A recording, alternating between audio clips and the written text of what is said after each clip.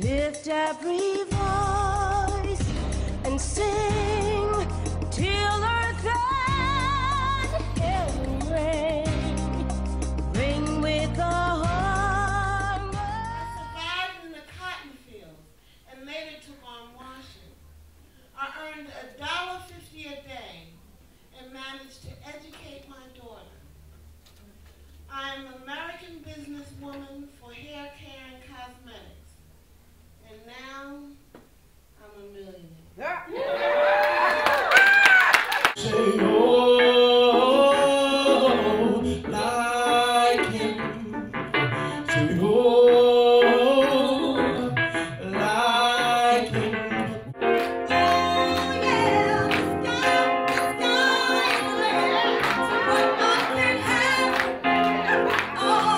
Oh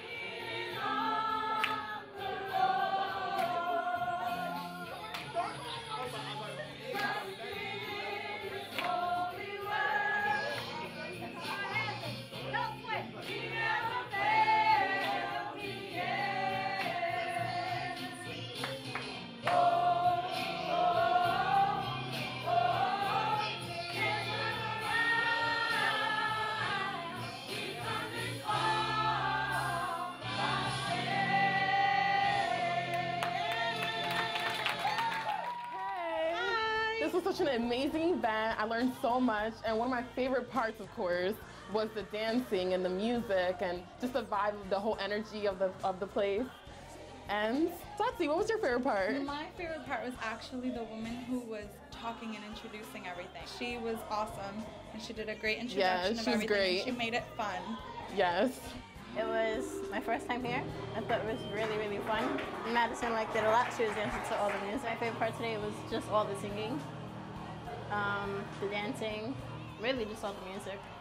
Today was our first celebration of Black History Month here at Finishers Church, and we had a phenomenal time.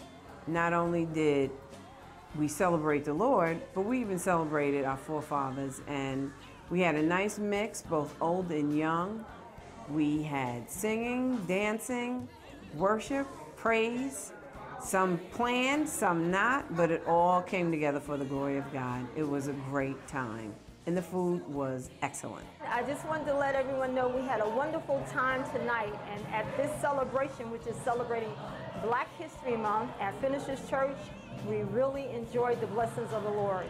Um, I coordinated uh, most of the evening, and we had an MC, Sister Sheffield. She was beautiful. We had dancing, we had singing, and now we're listening to a tribute to Whitney Houston. So the food was great.